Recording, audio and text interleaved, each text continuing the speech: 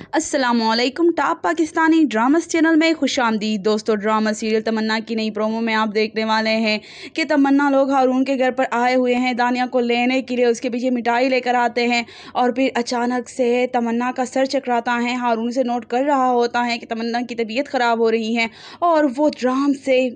ہارون پر گر پڑتی ہے ہارون جلدی سے اسے تام لیتا ہے اور یہ سارا منظر عمر سے برداشت ہی نہیں ہو پاتا۔ دوستو، ادھر آپ دیکھیں گے کہ شہریار بھی اپنی ہی سوچوں میں گم ہے اور اسے اس بات کا غصہ ہے کہ ایمن اس سے کیوں بات نہیں کر رہی، لیکن وہ یہ بھی کہہ دیتا ہے کہ وہ اتنی آسانی سے ایمن کا پیچھا نہیں چھوڑے گا۔ ایمن کے بدلتے رنگ ڈنگ اس کی امی بخوبی دیکھ رہی ہیں اور انہیں اس بات کا اندازہ ہے کہ کوئی نہ کوئی بات ضرور ہے اور اسی وجہ سے وہ ایمن کے پاس آتی ہیں اور کہتی ہیں کہ مجھے اس بات کا اندازہ ہو چکا ہے کہ کچھ نہ کچھ گڑبڑ ضرور ہے۔ تمہارے اور شہریار کے درمیان کچھ نہ کچھ تو ہے ماں ہوں میں تمہاری اور تمہارے یہ بدلتے رنگ مجھے اچھے سے سمجھ میں آ رہے ہیں۔